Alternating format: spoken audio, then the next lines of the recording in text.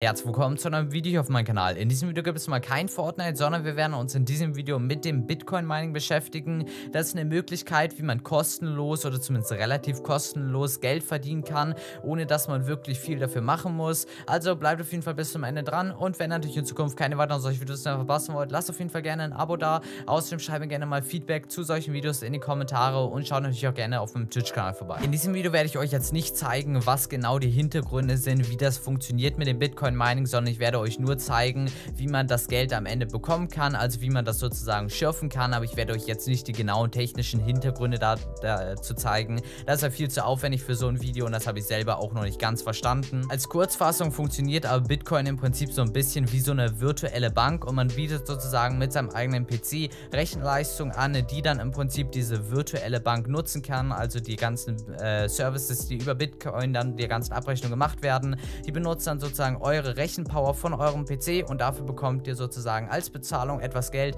das ihr eben halt eure Maschine dafür bereitstellt und dadurch könnt ihr am Ende kostenlos Geld bekommen. Natürlich ein bisschen mehr Stromkosten hat man am Ende, wodurch man natürlich nicht ganz so extrem viel Geld bekommt, aber man bekommt insgesamt oder zurzeit bekommt man auf jeden Fall definitiv ein Plus daraus und deshalb würde es sich auf jeden Fall lohnen, das Ganze zu machen, weil wozu sollte man nicht den einen oder anderen Cent oder den einen oder anderen Euro nicht einfach kostenlos mitnehmen. Das natürlich aber dann am Ende auch die Rechenleistung von eurem PC benutzt benutzt, könnt ihr natürlich auch nicht so viele andere Sachen machen. Es eignet sich zum Beispiel echt gut daneben, bei im Browser zu sein. Wenn man zum Beispiel Videokonferenzen hat, kann man das perfekt nebenbei machen. Man wird, solange man immer nicht auf einem kompletten Shit-PC ist, noch relativ gute Performance haben.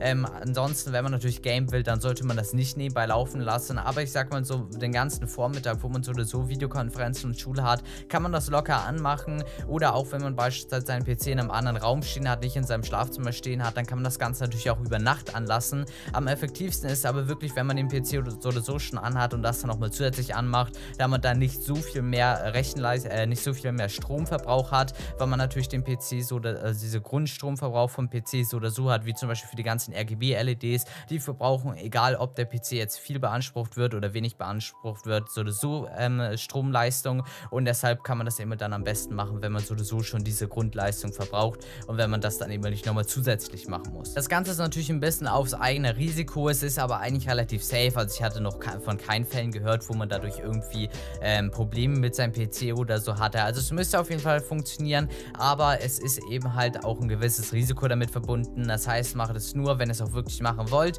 Aber ansonsten ist das Ganze relativ leicht. Dafür müsst ihr einmal hier auf die Website von NiceHash gehen. Es gibt auch andere Anbieter, wie man das Ganze machen kann, aber NiceHash ist auf jeden Fall der sicherste und vor allem beliebteste. Und deshalb werde ich euch das Ganze hiermit zeigen und dafür müsst ihr einmal aufs Download Download Center hier gehen. Das könnt ihr ganz einfach über die NiceHash Website äh, finden. Und dann müsst ihr hier einmal den NiceHash Miner runterladen. Das Ganze habe ich jetzt schon runtergeladen. Hier müsst ihr einfach einmal äh, den NiceHash Miner auswählen. Dann das Ganze äh, natürlich einmal ähm, installieren. Also einmal den ganzen Installationsprozess fertigstellen. Und äh, das Ganze werde ich jetzt natürlich nicht nochmal machen. Ähm, und wenn ihr das Ganze gestartet habt, dann äh, sieht das ungefähr so aus. Und dann müsst ihr euch nur noch einmal anmelden. Ich bin jetzt natürlich auch bei mir schon mal angemeldet. Äh, da könnt ihr ihr euch ganz einfach mit Google oder so einloggen, einen Account einfach machen, worauf dann sozusagen eure Bitcoins gespeichert werden. Wenn ihr das das erste Mal macht und jetzt auf Start Mining klickt, wird erstmal euer PC gebenchmarkt. Das heißt, das Programm schaut, mit welchen unterschiedlichen Bitcoin-Mining-Systemen, ähm, Algorithmen das am besten mit eurem PC funktioniert, wodurch ihr dann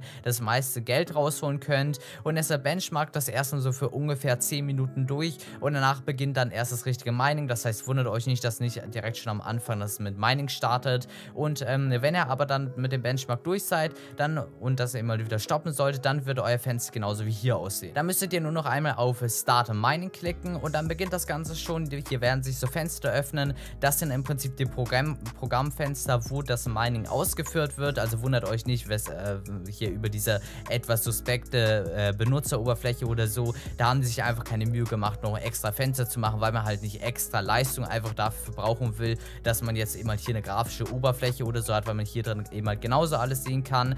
Ich habe hier jetzt auch zwei unterschiedliche Fenster. Normalerweise hat man nämlich nur ein einziges Fenster, aber ich habe auch CPU äh, Mining aktiviert. Das ist im Prinzip auf der Grafikkarte hier alles und das auf meiner CPU.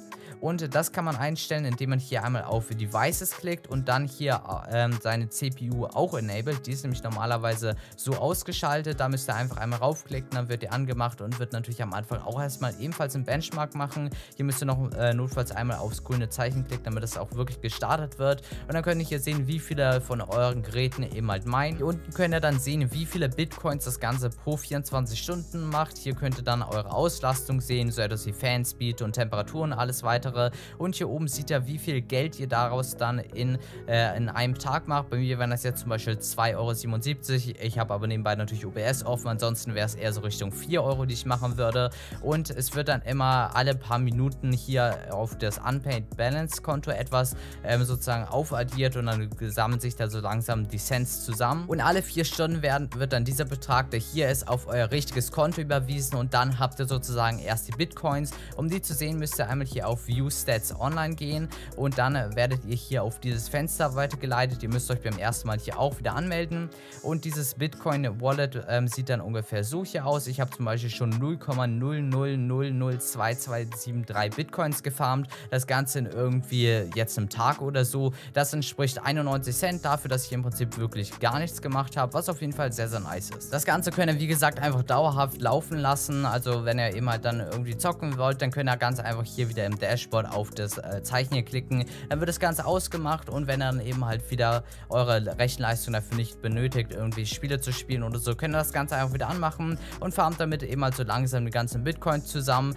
und so könnt ihr dann eben halt mit der Zeit immer mehr Geld zusammensammeln. Man führt wahrscheinlich an so einem normalen Tag, also wenn man das jetzt nun ähm, so einen Vormittag laufen las, äh, lässt, dann wird man wahrscheinlich nur so 50 Cent, vielleicht einen Euro machen können, was aber trotzdem immer nicht schlecht ist dafür, dass man im Prinzip nicht wirklich was dafür machen muss. Ihr könnt das Ganze aber auch noch etwas optimieren und zwar, wenn ihr euch etwas mit den Softwaren von zum Beispiel eurer Grafikkarte auskennt, was zum Beispiel bei mir das Expert-Tool wäre, von MSI gibt es zum Beispiel den MSI Afterburner, da müsst ihr am besten mal auf der Website von eurem Grafikkartenhersteller schauen. Da könnt ihr auch noch die ein oder andere Sache optimieren und zwar könnt ihr als erstes das GPU Voltage Offset auf maximales, auf die 100% stellen, ist meistens das Maximum. Genauso Power Target aufs Maximum und auch das GPU Temperature Target könnt ihr auch aufs Maximale stellen und dadurch holt ihr nochmal die maximale Leistung raus. Zusätzlich könnt ihr auch noch etwas an der äh, Lüfterkurve einstellen, denn umso kühler eure Grafikkarte läuft, zum einen desto mehr ähm, Leistung kann die sozusagen bereitstellen und zum anderen wird ihr auch weniger Strom verbrauchen, wenn die weniger,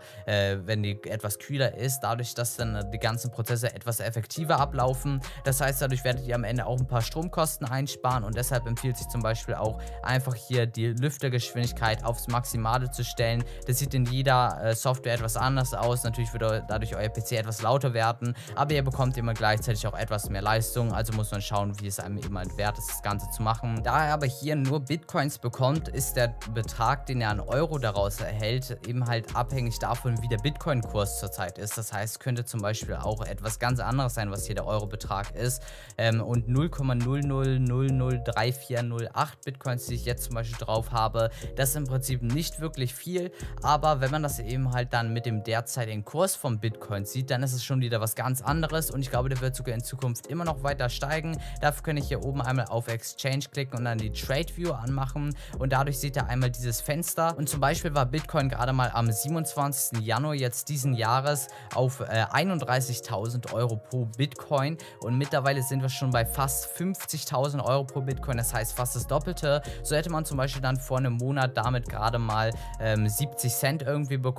Und wenn das eben so weiter in Zukunft steigt, auf 100.000 Euro vielleicht sogar für, Bit für ein Bitcoin aufsteigt, dann würde man dadurch zum Beispiel schon 3 Euro bekommen. Und das wäre natürlich extrem krass. Deshalb lohnt es sich auf jeden Fall jetzt schon anzufangen. Denn wenn der Betrag dann natürlich erstmal so hoch ist, dann könnt ihr eben da genau direkt auszahlen, wenn ihr schon richtig viele Bitcoins gesammelt habt und bekommt dadurch natürlich das maximale Geld raus. Wenn es irgendwann wieder etwas droppen sollte vom Bitcoin-Preis her, dann wird sich das Ganze nicht mehr so sehr lohnen, weil dann eben mal die Stromkosten irgendwann höher sind als das, was ihr am Ende davon rausbekommt. Aber solange die äh, Bitcoin eben halt etwas höher sind als die Stromkosten, lohnt es sich eigentlich in jedem Fall, weil er dann zumindest die Stromkosten zurückbekommt von eurem PC und das ist eben halt schon mal generell überhaupt nicht schlecht. Das war es dann soweit auch schon wieder mit diesem Video. Ich hoffe, es hat euch auf jeden Fall gefallen und dann bis zum nächsten Video oder bis dahin zum Stream.